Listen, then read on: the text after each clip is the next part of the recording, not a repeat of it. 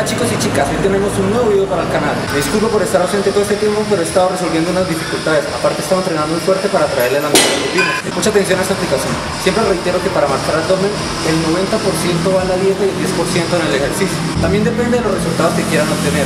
La mayoría de las personas quieren marcar el abdomen, pero realmente son muy delgadas. Y recuerden que siempre se marca un músculo que ha crecido o por lo contrario, están muy obesas. Por eso en este caso les aconsejo que se enfoquen en crear masa muscular, tanto en pecho, espalda, piernas, hombros. Si eres una persona delgada, no puedes entrenarte abdomen igual que una persona obesa. Debes enfocarte en trabajar ejercicios de potencia, de fuerza, que generen hipertrofia muscular. Aparte de eso, llevar una dieta rica en proteínas, en carbohidratos y calorías para generar buen músculo.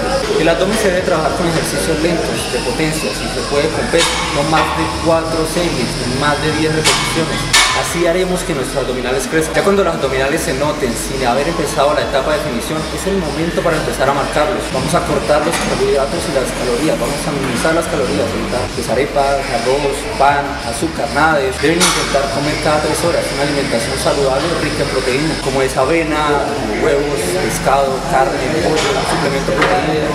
Aparte pueden agregar 10 minutos de cardio todos los días y en menos de 15 días los resultados son increíbles. Para las personas obesas cambia un poco. Deben cortar totalmente los carbohidratos y las calorías, aumentar el consumo de proteína, no consumir arroz, reemplazarlo por rebanadas de tomate. Para la ansiedad pueden consumir dos huevos cocidos. Si también tienen mucha ansiedad pueden tomarse un vaso de avena en hojuelas en agua sin azúcar. Deben aumentar su entrenamiento en ejercicios de fuerza, de potencia, para generar buena masa muscular, tanto en hombros, espalda, piernas. Por lo menos hacer 20 minutos de cardio todos los días.